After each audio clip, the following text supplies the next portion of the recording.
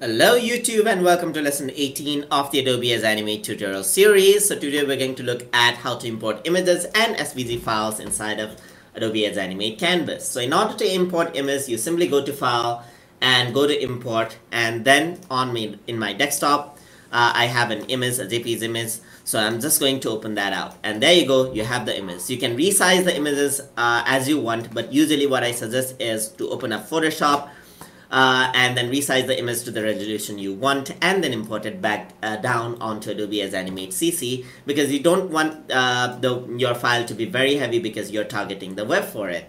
So in order to import SVG files, I'm going to use Illustrator right here uh, so that I can bring uh, export an SVG and then import it out here.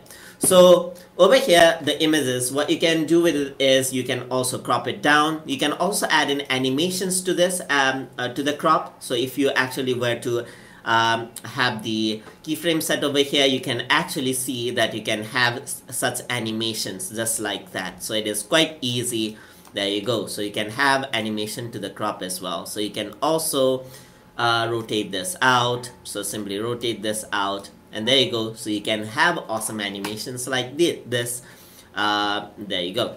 So now inside of Adobe Illustrator what you can do now is you can just create a new file. Just over, just over here. So let's just say web over here.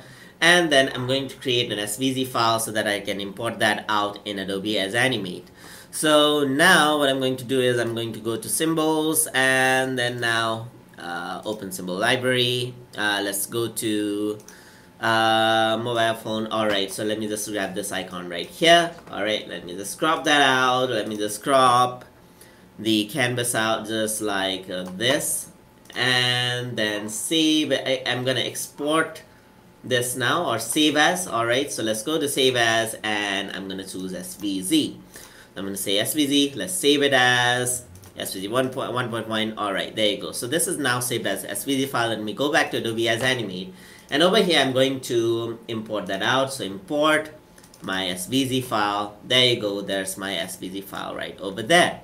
So this kind of looks different than what you see in um, uh, Illustrator. So let me just save this again. Save for web over there. Uh, or this may be due to the error in Edge Animate itself. So let me just preview this in browser. And alright, so this does not seem as if it is exported right there. So some of the graphics here you can see right there. So let, let me just change the version of this. The save as SVG, that's it. All right, replace that out. And I'm going to say SVG 1.0.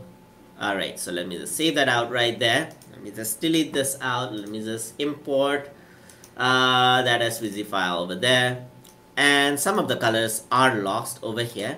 But anyways, you can see that this is uh, like um, a very uh, high resolution file. So you you have no quality loss over here. And all of this is what you can do in HTML5 itself. This is not a flash graphics. So you can also have vector graphics as well as raster graphics just like as you would in Flash and you can have some really cool animation with it so hope you guys learned something as always this is how you import um, SVG files and images inside of Adobe Edge Animate.